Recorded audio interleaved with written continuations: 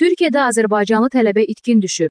Lentazın məlumatına görə 31 yaşlı Mövsümov Fərid Sərraf oğlu artıq 12 gündür yoxa çıxıb. O, Samsun şəhərində yerləşən 19 may Universitetində Tibb Qardaşı Fakültəsinin birinci kursunda təhsil alır.